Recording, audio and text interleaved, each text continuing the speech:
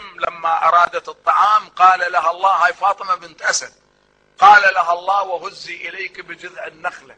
وهذا دليل علمها بالقرآن قبل نزول القرآن. هاي من أسرار أهل البيت لأن هذه أم علي بن أبي طالب أم أمير المؤمنين. وأنا أكلت ثمار الجنة وأنا في باطن الكعبة في جوف الكعبة. وعلي أمير المؤمنين تقول نزل من بطن علي أمير المؤمنين وهو في ملاء من النور وهو يقرأ سورة المؤمنون. يقول قد أفلح تقول أخرجته وهو يردد سورة المؤمنون.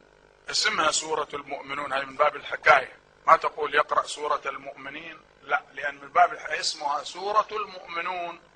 فكان يقرأ هذه السورة قد أفلح المؤمنون الذين هم في صلاتهم خاشعون. فجئت به إلى رسول الله صلى الله عليه وآله.